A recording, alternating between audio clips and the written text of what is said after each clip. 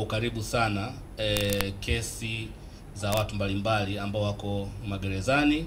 Umekuwa na ile interest au ule ule moyo wa moja kwa moja, lakini pia wewe mwenyewe ushapitia hiyo hiyo e, changamoto ya adhabu ya kifo. Kwa hiyo kwa wale ambao pengine hawajawahi kukupa, kukufahamu labda unaweza ukatupa tu kwa ufupi, cha kwanza kuhusiana na wewe mwenyewe na taasisi yako, alafu baadaye utuambie sasa mambo gani ambayo una umeyabaini au umeyabaini kama taasisi katika eneo hilo. Kwa, kwa sasa tuanze hivyo, alafu nitakuongezea tena swali. Karibu. Asante, nashukuru. Uh, stori yangu fupi, nimewahi kushtakiwa kwa kosa la mauaji na nilikaa mahabusu miaka minne, na baada ya miaka minne nikahukumiwa kifungo cha kunyongwa mpaka kufa. Kwenye hicho kifungo nimekaa miaka miwili, nilikata rufaa na baada ya miaka miwili nikaonekana nilihukumiwa kimakosa, nikaachiwa huru. Baada ya kutoka gerezani nilifungua taasisi inayoitwa Tanzania Ex Prisoners Foundation. Hii ni taasisi ambayo inawasaidia wafungwa wale ambao wamemaliza vifungo vyao ama kupewa msamaha na Mheshimiwa Rais wasirudie uhalifu na kurudi tena gerezani. Lakini pia tunatoa msaada wa kisheria kwa wafungwa tukishirikiana na LHRC. Lakini pia tunawasaidia watoto wa wafungwa wale walioko uraiani, tukimaanisha kwamba kuna watoto ma wazazi wao baba na mama wote wako gerezani, ama kuna yale matukio ya wazazi, mzazi mmoja kamuua mwenzake, mmoja yuko gerezani, mmoja amefariki. Tunawasaidia watoto kwa sababu wanakutana na ukatili wa kijinsia mara nyingi. Lakini pia sisi tunatoa elimu kwenye jamii kuhusu uelewa wa kisheria na madhara ya uhalifu. Uh, nijibu swali lako kaka Raymond kwamba mimi sio sio uzoefu kwa uzoefu ambao nimepitia gerezani, hali halisi ya wafungwa wa kunyongwa ama hali halisi ya wale wanaotuhumiwa kwa kesi ya mauaji gerezani, kwa kweli haielezeki kirahisi. Hali ni mbaya. Kwanza, wafungwa wengi wa kunyongwa we, wako wengi, alafu wengi wao ni wazee, kutokana na kukaa muda mrefu kwenye kifungo hicho bila kujua hatima yao. Lakini pia wengi wao wafungwa wa kunyongwa tuseme kisaikolojia hawako sawa, yaani tuseme wana matatizo ya afya ya akili kutokana na ile hali ya kuishi kwa hofu. Wakati wote mtu anasema naweza nikanyongwa, mlango ukigongwa, ukigongwa usiku anasema amekuja kuchukuliwa nini. Yaani watu wanaishi kwa wasiwasi wakati wote, wanaishi kwa yani, sio rahisi kuelezea, lakini nadhani tunaelewana eh? Aa, lakini pia ile hali ya wa, wafungwa wa kunyongwa kutengwa, yaani kuonekana kwamba wao ni wakosefu kuliko watu wote kwenye hii dunia, kwamba wao wamefanya makosa makubwa sana, kwa sababu hata vile wana hata wale maaskari magerezani wanavyoishi nao, yani ile treatment inakuwa ni tofauti na mfungwa mwingine. Kwa mtu anajiona yani kwamba ametengwa kupitiliza. Lakini pia mara nyingi wafungwa wa kunyongwa hawapati haki ya kisheria, kwa sababu kuna watu ambao wamehukumiwa kunyongwa lakini hawajakata rufaa. Ni kwa sababu hata ile kuja kutembelewa, unajua, ukija ukienda kumtembelea mfungwa wa kunyongwa mpaka uwe na kibali kutoka kwa mkuu wa wilaya. Kwa hiyo jamii yetu ya Kitanzania, kwanza acha tuko kwa mkuu wa wilaya, tu kwa balozi ni shida wengine sasa imagine mtu akafuatilia process kwa mkuu wa wilaya, utakuta mfano mimi ni mtu wa Manyara, labda nimefungwa gereza la Isanga Dodoma, mi sijui utaratibu ofisi ya mkuu wa wilaya Dodoma, yaani kibali unatakiwa ukapate wilaya ambayo aliko yule ndugu yako. Kwa hiyo ukiangalia process ni ndefu, inawafanya watu wasipate msaada wa kisheria, lakini pia ucheleweshwaji wa rufaa kwa wafungwa wa kunyongwa imefanya wengi wamekaa kwa kukata tamaa, na wengi hali zao sio nzuri, lakini wengine pia hawajapata haki ya kukata rufaa. Uh, tuna mfano hai wa dada moja ambaye amefungwa kuanzia 99 amefungwa kifungo cha kunyongwa, lakini mpaka mwaka huu hajakata rufaa. Ana haki ya kukata rufaa, lakini hakuna record ambayo inaonyesha kwamba huyu alifungwa lini, alifungwa mahakama gani. Anajua tu nimefungwa mahakama fulani, lakini nani mwenye jukumu la kulinda record ya mtu ambaye amefungwa? Kwa hiyo ukiangalia, kuna wengi ambao hao ni wachache ambao tumewaona ama tumeshughulikia hizo ishu zao, lakini hayo ni magereza tu ya mjini. Je, ya vijijini? Kwa hiyo hali ni mbaya kiukweli, lakini pia tukizungumzia hali ya mtu yeyote ambaye amehu, ame ametuhumiwa kwa kesi ya mauaji pia sio nzuri, kwa sababu jamii nyingi ya Kitanzania hatujui sheria. Wengi wanafungwa kwa kushindwa tu kujitetea. Hata uh, kwenye kesi ya mada mtu akishtakiwa akiwa mahakamani anapewa wakili na serikali. Mara nyingi niseme kwamba kuna uzembe ambao unafanyika kwenye wale mawakili kusimamia kesi kama hizo, kwa sababu tuseme labda wanalipwa tu posho ndogo, yani so sio sawa na yule mtu ambaye nina uwezo namweka wakili, namlipa kiasi ambacho anakitaka na anafanya kazi kulingana na ninavyomlipa. Kwa hiyo nayo imechangia mtu kupewa wakili na serikali amsimamie. Kwa hiyo ina maana hawazingatii sana, mtu anaambiwa tu kiri, utakuja kuachiwa. Tusirefushe nalien, tusi tusirefushe usikilizaji wa kesi, we kubali. Wengi wamefungwa kwa sababu umeambiwa kubali, lakini pia wapo ambao wanakubali kwa sababu wao hawajui sheria, zile lugha za kisheria hawajui. Kwa hiyo wamefungwa kwa sababu hiyo, lakini pia makosa mengine yanaanzia kuanzia polisi kwenye upelelezi.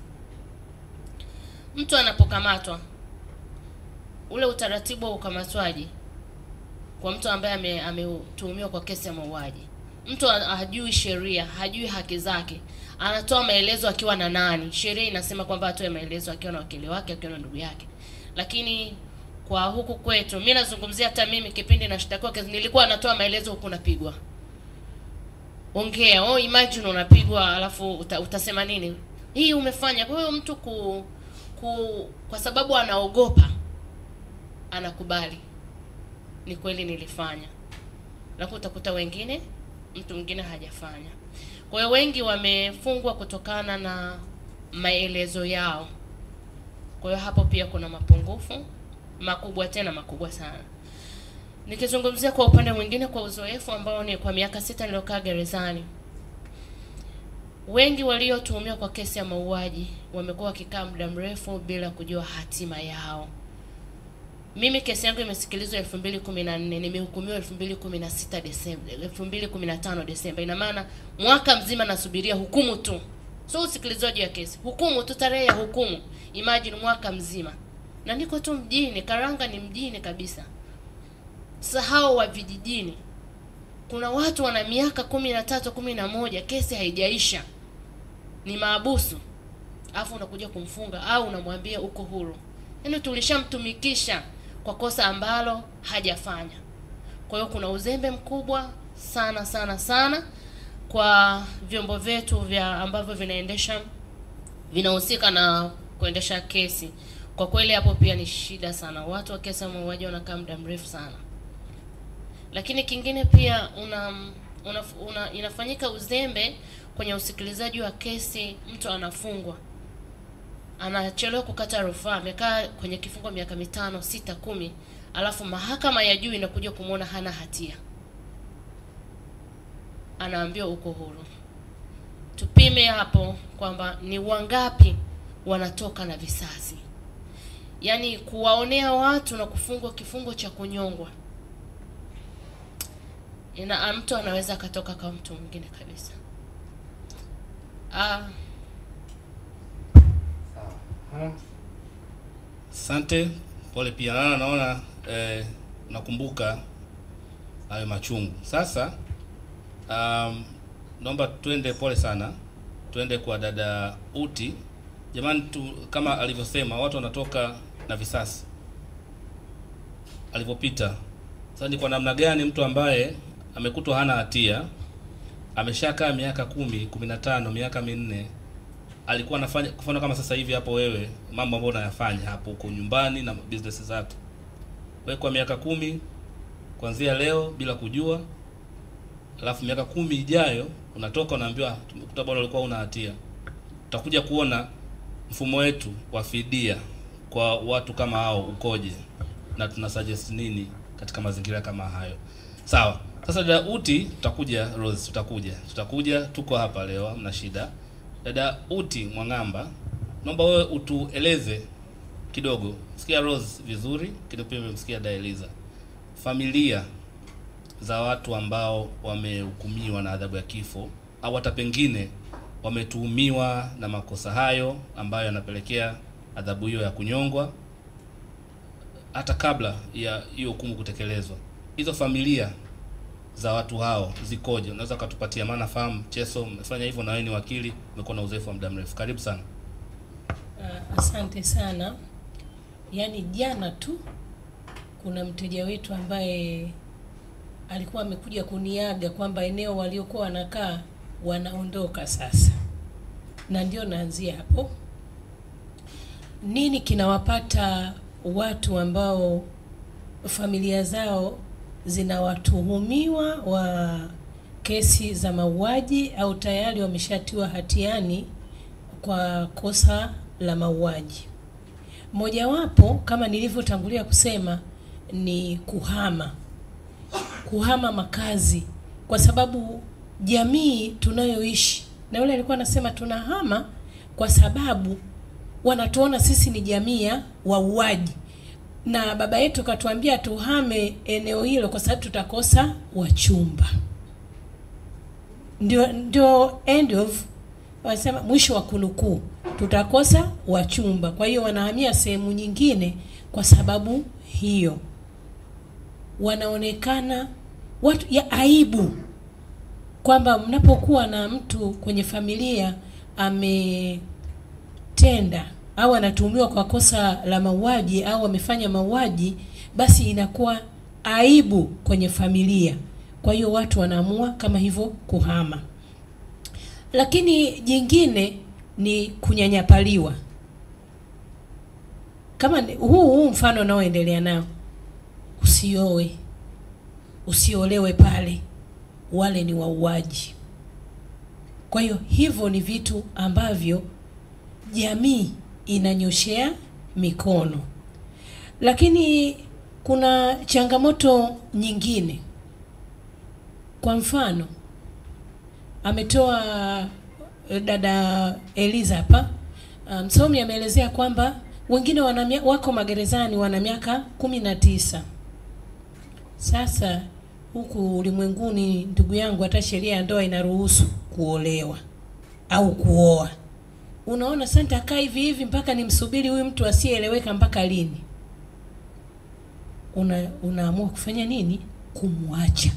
Kwa hiyo wapo ambao wameachwa, na niseme kitu kimoja, mimi pamoja na hayo nilikuwepo kwenye kamati ya chama cha wanasheria cha mawakili Tanganyika Law Society. Nimetembelea pia magerezani, lakini kama watu wa huduma ya msaada wa sheria pia tumefanya tumefanya kwenye magereza tofauti tofauti.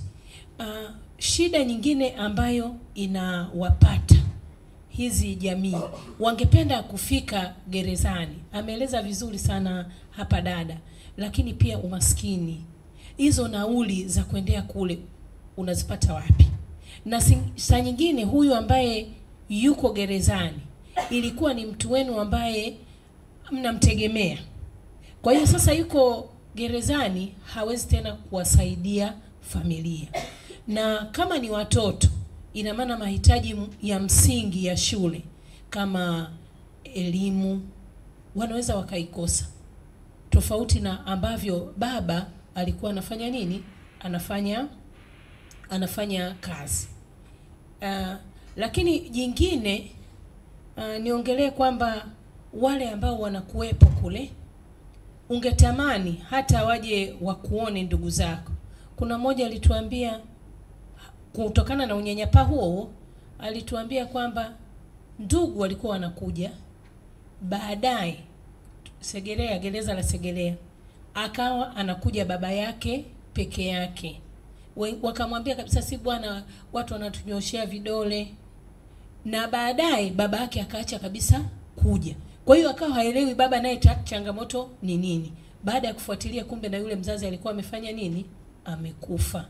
Kwa hiyo unaona hayo mazingira ambayo yanatokea, lakini pia kuna changamoto kama kosa hili lilitendeka uh, wakati bado una watoto. Watoto haijalishi, hata sisi tulioko hapa tukiwa na wazazi wetu tunaitwa watoto.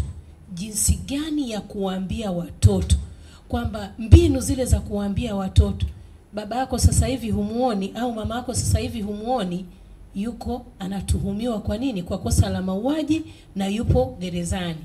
Uh, wanajamii tulio wengi hatuna hizo mbinu na hili kosa ni kubwa. Kwa hiyo unakuta inakuwepo sintofahamu kwa wale watoto kisaikolojia, pia na wao pia wanafanya nini? Wananyanyasika. Uh, lakini pamoja na hayo, tunarudi hapo, sisi wanajamii, saa nyingine mnaweza mkajikuta mnakuwa na ugonjwa wa, wa afya ya akili. Leo tumeambiwa ni siku ya afya ya akili.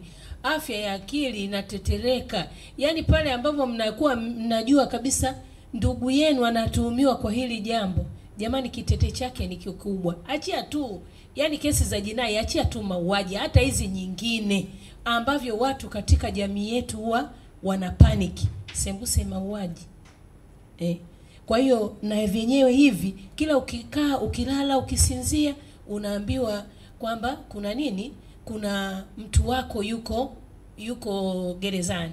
Mimi nijitolee mfano, mimi mwenyewe ni, kuna mtoto wa ndugu yangu alituhumiwa wavulana wa, wa, kukawa na, na binti akisemekana ameku, amekutwa amekufa kwenye magofu haya.